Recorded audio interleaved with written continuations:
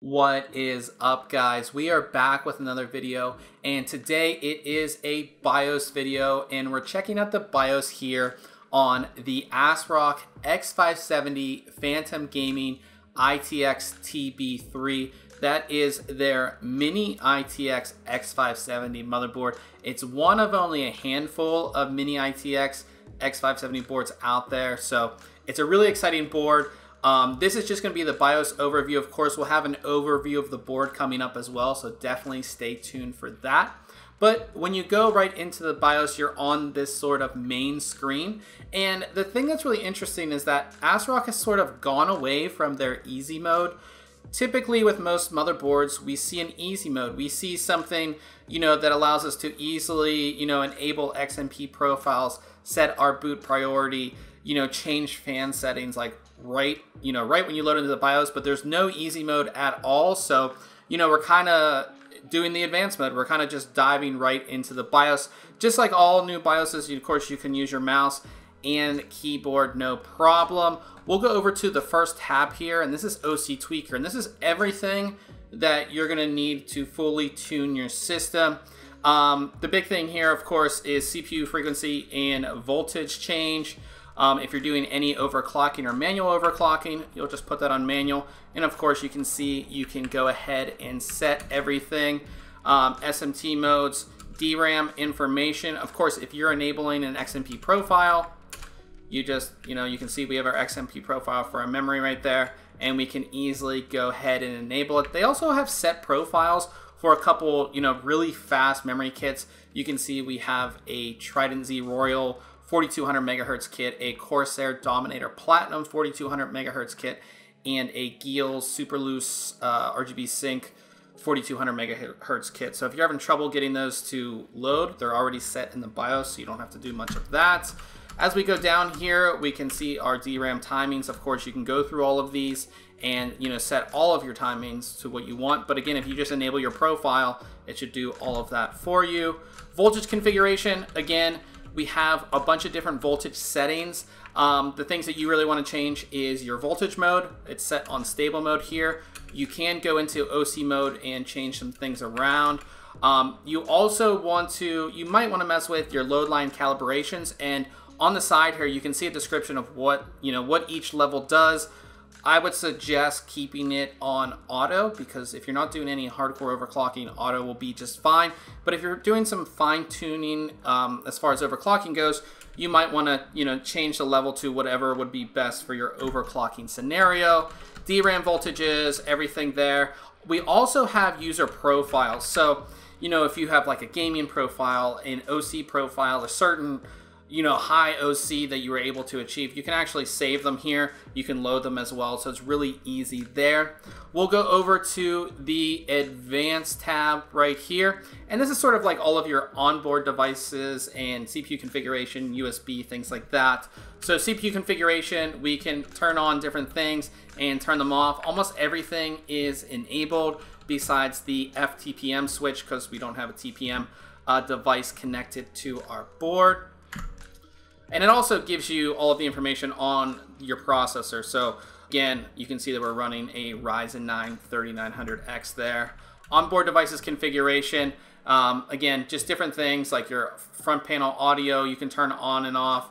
Um, you can enable WAN, Bluetooth on and off. Uh, the PS2 Y cable you can you know enable or disable. So things like that are in here. Storage configuration, again, SATA controllers um, and then your device list. So we only have one drive connected and you can see it is a crucial drive there. ACPI stuff in here, you can go ahead and see all that. Trusted computing, again, we don't have a device found. AMD CBS, and there's all these different options, um, which I won't go into detail on. And then AMD PBS, again, you can see, you know, the bus interface, all that kind of stuff that you might want to mess around with, you can go ahead and do that in here. And then AMD overclocking, when you go into here, again, you have to accept this. This is like every X570 BIOS that we see. In order to get into AMD overclocking, we have to accept this warning that we could damage our processor. We hit accept, and then you can, you know, go into eco mode, enable or disable it, precision boost overdrive, enable or disable it, SoC, Uncore, enable or disable. It's pretty much all you get. This would be the same settings as the Ryzen master software. So get out of that.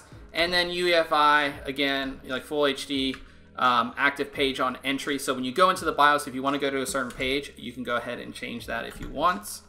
Under tools, we have some cool things. So there are RGB LEDs on this board. And what's nice is if you don't want to install the Polychrome Sync software, you don't really have to. If you have a, you know, a setting that you like, you can go through the different settings. They're all here. You can set the time uh, in milliseconds and then apply it. You don't have to install Polychrome Sync if you really don't want to. Uh, you can do it all here in the BIOS. SSD secure erase, love to see this. If you're getting rid of an old SSD, you want to do a secure erase. Same thing with an NVMe drive. Um, you know, just makes it easy to, you know, fully erase so somebody can't go back and get your information. And then we have Instant Flash, which allows you to easily easily flash your BIOS through a USB drive. It just works super simple there. Hardware monitor, this is going to give you all of your temperatures and voltages and fan speeds uh, in real time. So you can see everything there. And then, you know, your fan settings, um, you can go ahead and, you know, we have standard mode, performance, full speed, silent, and you can customize it as well. Um, and you can set all of your duties and things like that for your fans, which is kind of nice. Oops. We'll go back to standard. And um, all that stuff you can set for your fans. So it's kind of nice you can set all of your fans and do it all in the BIOS before you even, you know, install Windows. Under security, you can set a supervisor password as well as a user password and set up secure boot if you want. And then under boot, we have our boot options and things like that. Um, you know, full screen logo, as I said, fast boot, and things like that. And then under exit, we of course we can save our changes, we can discard our changes, we can load the defaults, which I like to see. Um, I mess things up in the BIOS all the time. So to have, you know, just the, the ability just to start from scratch without clearing the CMOS completely, um, I do like that. And then boot override, I love to see boot override. It's pretty much a default now, almost every BIOS that we see. But it allows you to, you know, install Windows from a flash drive and then when your system reboots, you know, you don't have to hurry up and take that flash drive out to override the boot priority. You just boot from it once and then it's going to go to the C drive. So I like that as well. It's a pretty simple BIOS. It's easy to find everything. There wasn't a, a setting or anything like that that I couldn't find. Um, it's snappy, like it's not laggy or anything like that.